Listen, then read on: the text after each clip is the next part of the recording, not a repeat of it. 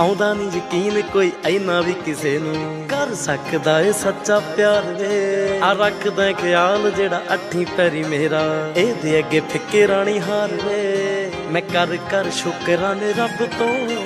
ਲਿਆ ਤੈਨੂੰ ਲੇਖਾਂ ਚ ਲਖਾ। ਮੋਤੀ ਪੁੰਨ ਕੀਤੇ ਹੁਣੇ ਲੱਗਦਾ